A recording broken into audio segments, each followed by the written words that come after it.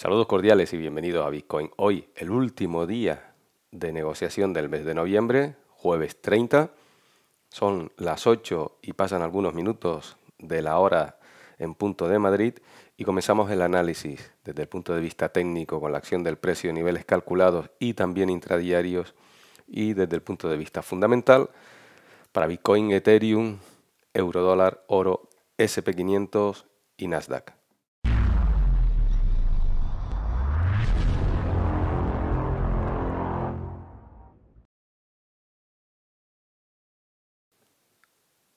Repasamos el calendario antes que nada desde el punto de vista fundamental, la agenda macroeconómica, que repasaremos dentro de unas dos horas en el análisis del canal de Crece Trader con toda la bolsa y economía.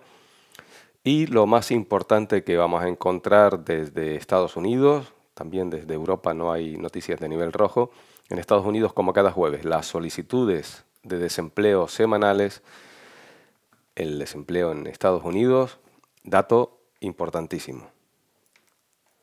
Y aunque dentro de unas horas volveré a hacer un análisis ya en mayor profundidad para Bitcoin y Ethereum en este canal, también los veremos en el canal de Crece Trader. Estamos viendo la serie diaria, nuevo freno en los 38.019, el nivel de refugio de mediano plazo. Si nosotros lo quitamos, no sabríamos qué está ocurriendo en el mercado. Si no lo conociéramos, si no lo supiéramos calcular, si no lo tuviéramos preparado desde el 1 de enero de este año, entonces no sabríamos por qué el precio está ahí detenido. Lo mismo ocurre con el refugio de largo plazo de los 36.425. Si vamos quitando todos estos niveles, al final no sabemos mapear, no sabemos por qué el precio está ahí detenido, hacia dónde se puede dirigir su siguiente proyección. Lo hablaremos, como digo, mayor profundidad dentro de unas horas en el segundo análisis. Vamos a pasar al cálculo de niveles intradiarios para la jornada de hoy. Teniendo en cuenta la situación de freno de lateralidad en ese nivel de los 38.019, mira cuando llegó el pasado martes y empezó a cruzarlo, automáticamente lo han dejado aquí detenido, refugiado. Bien, el punto de partida para el día de hoy, 37.864, eje central para todas las operaciones. Debes de decidir, sabiendo que los 38.019 es el nivel donde están preparadas las órdenes de ya eh, mediano plazo, corto plazo, preparadas para ejecutarlas en caso de un cierre diario que todavía no ha ocurrido, debes decidir cuál es la proyección, cuál es el escenario más probable y yo te voy dando los cálculos de los niveles intradiarios. Por la parte de arriba, 38.171, en medio de todo este vacío disponible y ya a los 38.477 viene a coincidir primero con este máximo previo de la serie diaria que tuvimos hace unos días, aquí, el pasado 24 de noviembre. Lo vemos que está 40 dólares arriba y un poquito más arriba 38.621. Vendrían a rellenar todo este hueco. Este sería el último nivel para cierre de posiciones intradiarias, toma de beneficios y mayor probabilidad de caída del precio. En caso de colocarse por debajo de los 37.864, vemos un nivel coincidente con el 350%, que ya sabes, de toda esta eh, fase que hemos estado midiendo en cuatro horas, toda la pauta, 37.719, 37.717. 37.557 viene a coincidir con los mínimos previos de la jornada de ayer. Y dos últimos niveles, 37.251 y 37.107. Destacar que en las primeras horas de la jornada de hoy de negociación en sesión asiática vino a tocar exactamente los 38.171 en esta hora. En cuanto lo tocó, salió rechazado y lo han vuelto a colocar por debajo del refugio de mediano plazo de los 38.019. Dale una vuelta a esta situación. Recuerda que negociar no es copiar. Negociar no es que te digan dónde tienes que abrir y cerrar una posición Negociar es tener conocimientos, tener también experiencia en el mercado, tener una estrategia con un método, con un sistema, un plan de negocios, una gestión de riesgo. Bueno, Ethereum 2032 sigue siendo el nivel que desde el pasado jueves 9 de noviembre mantiene el precio, refugio de mediano plazo, situado en esta zona. Vemos que va desapareciendo poco a poco la volatilidad en estos últimos días. Bien, teniendo esto en cuenta, Pasamos a la serie horaria.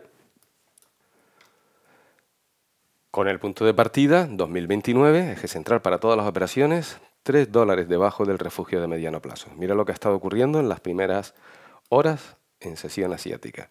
Primer nivel negociable por la parte de arriba, lo que ocurrió en Bitcoin también, 2041. Aquí si descomponemos en la serie de 5 minutos, verás que la primera vela de 5 minutos que lo cruza, se toman parcialmente beneficios del día. Bien, ¿qué más niveles tenemos por la parte de arriba? Aparte de los 2041, 2054, pero 2062 y 2069 vienen a rellenar todo este vacío disponible, todo este hueco hasta estos máximos anteriores. Aquí tenemos el precio de apertura de esta semana. Es decir, Ethereum también está perdiendo, eh, con respecto a cómo abrió, la cotización está perdiendo valor. 2066 perdón, 2063.6 es como abrió la cotización. Por la parte de abajo, en caso de colocarse por debajo del 2029 y de estos mínimos previos, su destino para rellenar todo este hueco disponible, fíjate que acaba en 1988, el último nivel negociable para cerrar las operaciones. Y por en medio tenemos 1996 y atención a 2004, porque aquí tenemos el precio de, eh, psicológico de los 2.000 dólares, pasa también esta directriz bajista de máximos decrecientes que ha sido rota y aquí se puede encontrar precisamente en caso de llegar pues un obstáculo, el siguiente en los 1988. Y ahora ya pasamos a los activos que vamos viendo en el canal de Crece Trader, Bolsa y Economía de todos los mercados.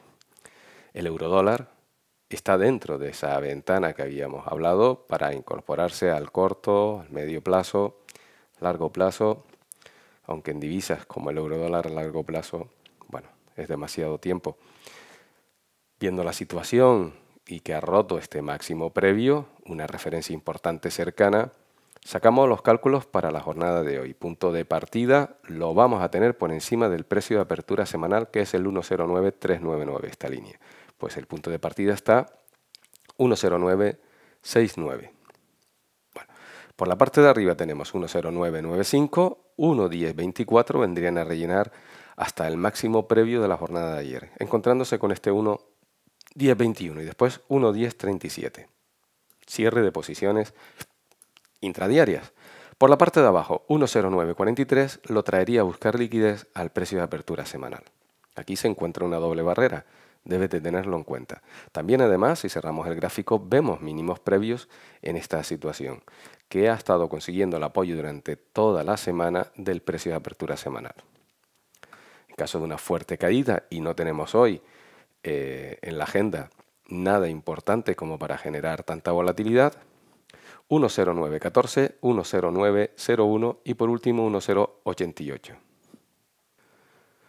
El oro, sabes que ayer había dejado un hueco muy importante, un gap, que se apoya precisamente y muy bien además encima de la eh, directriz alcista de máximos crecientes que teníamos estipulado. Ayer consiguió todo cada vez que llegaba aquí la reacción del mercado no la han dejado caer y fíjate que en el día de hoy la vela diaria a esta hora también muestra como cuando testea esta directriz alcista el precio se detiene. Así que pasamos a los cálculos intradiarios.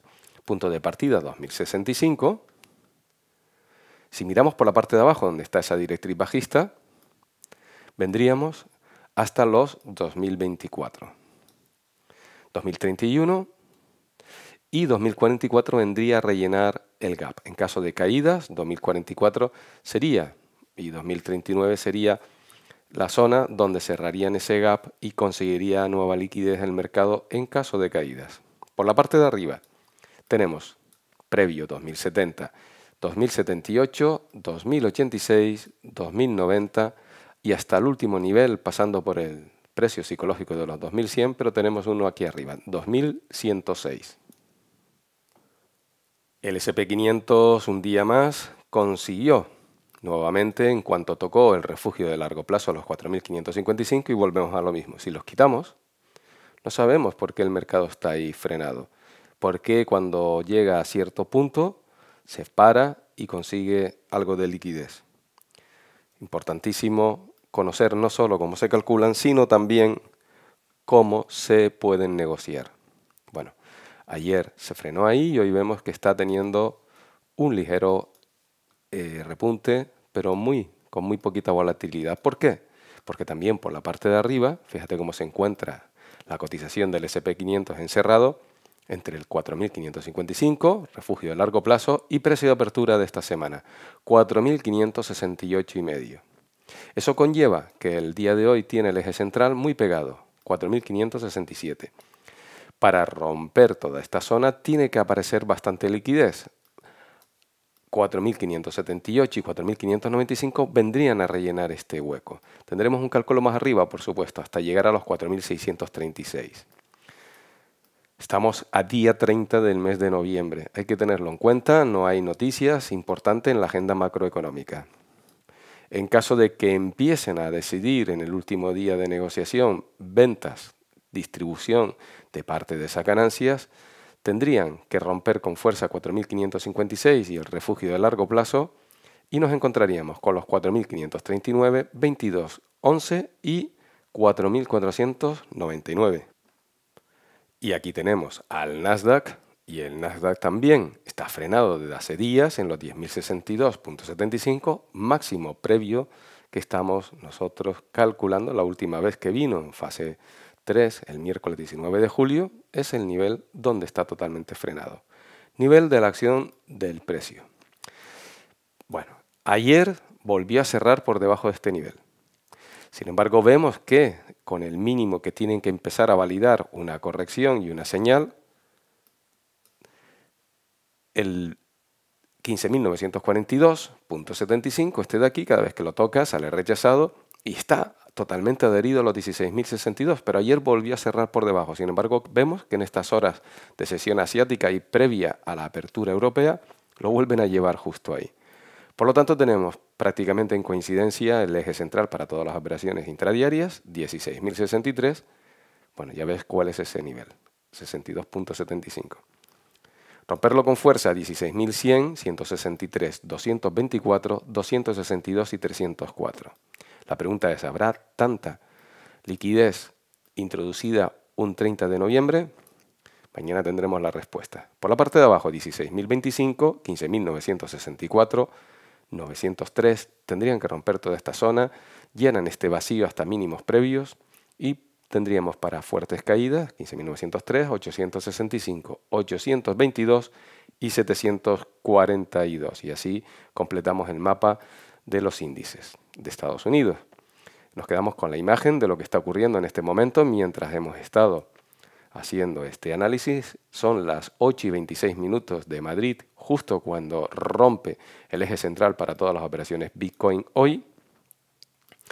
Y ya sabes que aquí tenemos esta doble barrera, lo que está ocurriendo en la serie diaria para tu toma de decisiones. Nos encontramos en los análisis de Crece Trader y aquí en Bitcoin hoy, cuando quieras, dentro de unas horas. Como siempre, desde mi parte será más y mejor. Un saludo.